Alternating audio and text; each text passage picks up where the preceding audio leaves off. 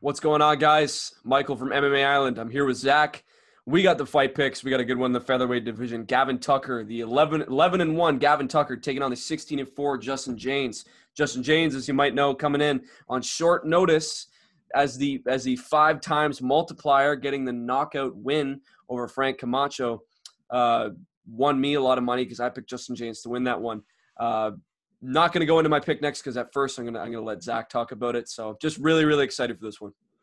So Justin Jaynes, he came in and he just kind of demolished Frank Camacho in his short notice debut. It was impressive to see. And now I think if he goes in, he's kind of known as the short notice king. Here he goes, taking another short notice fight. And against a guy, Gavin Tucker. Now, he in his UFC uh, just in general in his career, he's looked pretty good, but you know, he's he's a well-rounded guy, but his skills haven't been shown to be like elite yet. But one thing that's interested to, uh, interesting to me is that he's an established 145 pounder. Justin Jaynes is going to have to cut weight for this. He's not usually a 145 pounder, if I'm if I'm correct here. He's usually a lightweight, and his last fight with Frank Camacho is at lightweight. So that's a big consideration for me. Taking this fight on short notice and having to cut the weight on an extended period of time we know that this, uh, and especially for not a natural weight class, we know that this is not very good for fighters. And what do we know about Justin Jaynes? He likes to go out. He likes to swing. He likes to drop people. he has uh, very, very good forward pressure. But I don't think that's going to work for him against a really big and physical guy like Gavin Tucker.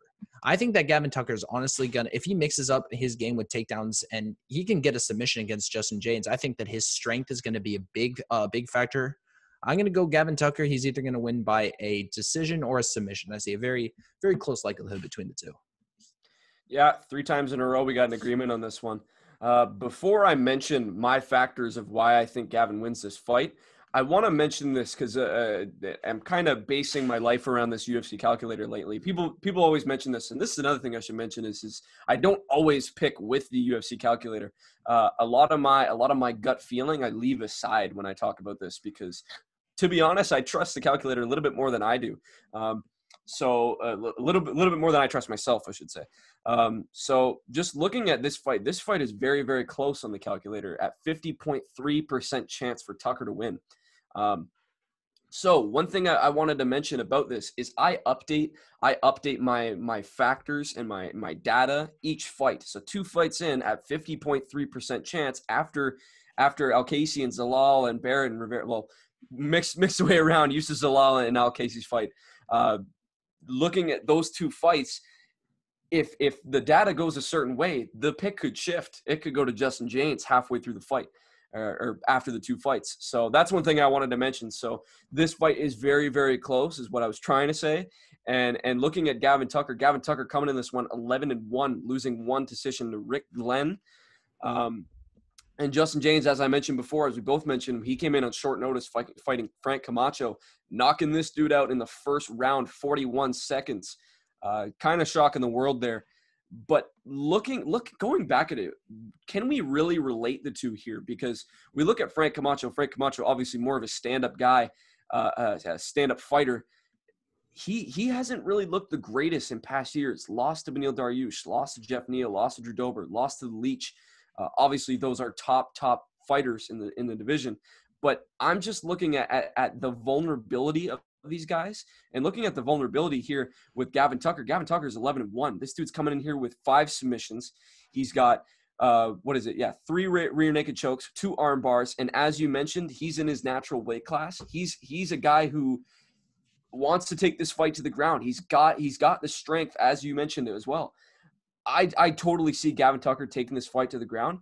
I think it's equally likely that he gets a he gets a submission or he wins this by decision because I don't think that he's going to want to brawl as much as uh, Frank Camacho did with Justin Jaynes. We saw how it worked out for Frank Camacho. I don't even think we're going to see the the likelihood of that happening with Tucker here.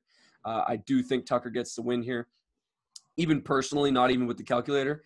Um, I just value a lot more him him wanting to take this fight to the ground and not so much stand up and, and strike with with uh, Justin Jaynes as we which as we know will as, as you would see with Justin Jaynes last fight didn't really work out well for Frank Camacho as I've mentioned.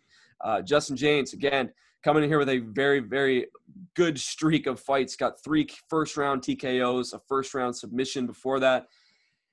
Just this, this is a dude that I don't think we should be writing off if he loses this fight. Because um, I, I, like Gavin Tucker here. He's got so he's 11 and one coming in here for my my my Canadian brother is what I might mention.